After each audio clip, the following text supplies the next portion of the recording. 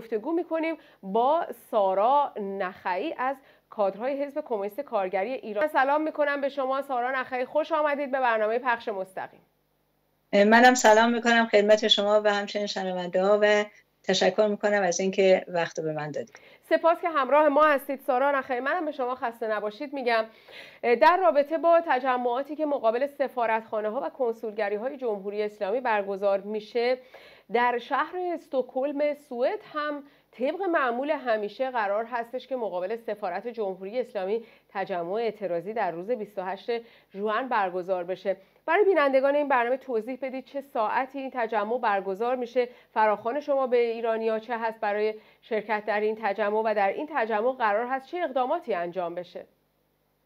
بله ما همینطور که گفتین روز 28 که جمعه هست ساعت دوازده ظهر مقابل جمهوری سفارت جمهوری اسلامی در شهر استکهلم هستیم و اعتراض می‌کنیم به مسحکه انتخابات و به نظر من خیلی مهم هست. حضور ما حضور همه ایرانیانی که بخصوص در طی انقلاب زن زندگی آزادی سعی کردیم که صدای انقلاب مردم ایران صدای اعتراضات و صدای دادخواهی مردم ایران باشیم و این روز که واقعا ما می‌بینیم که الان که در آستانه این مسکه انتخابات هست چقدر اخشار و نهادها و تشکلهای مختلف افراد مختلف از داخل ایران به عناوین مختلف اعتراض خودشونو به این نمایش و به این مسحکه نشون دادن خیلی مهم هستش که حضور ما در خارج خارج کشور فعال باشه گسترده باشه و بتونیم طبق معمول همیشه انعکاس صدای مردم ایران صدای مادران دادخواه صدای تمام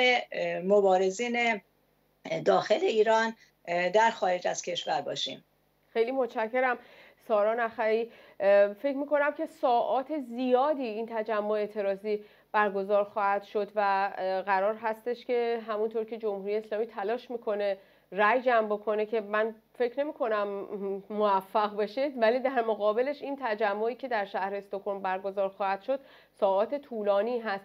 با توجه به اینکه ما شهر استکهلم رو به عنوان یکی از شهرهای بسیار فعال در جنبش سرنگونی می‌دونیم. چقدر اهمیت داره ایرانیان ساکن شهر استکهلم در این تجمع شرکت بکنن. چقدر تاثیر داره تجمع و شرکت هرچه بیشتر ایرانیان در تغییر افکار عمومی مردم در شهر استکهلم و به طور کل سوئد.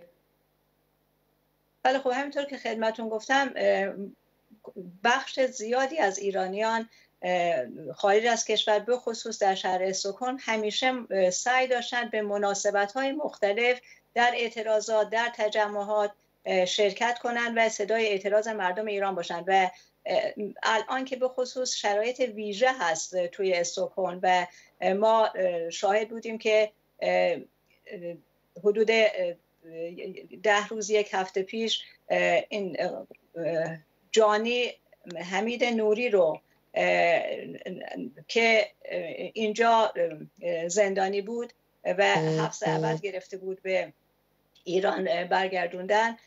تو این شرایط خیلی مهم هست. خب این چیز حمید نوری کسی بود که جز هیئت مرد بود و کسی بود که در واقع یکی از دوستان و نزدیکان رئیس جمهور قبل قاطع رئیسی بود. و به نظر من خیلی مهم هست. یعنی حساسیت این وضعیت و اعتراضاتی که اخیرا شد سر مسئله حمید نوری.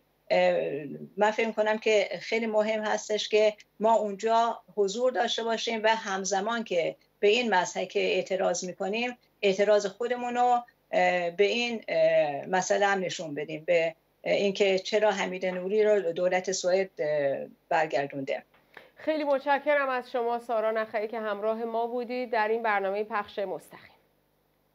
منم تشکر می‌کنم از شما.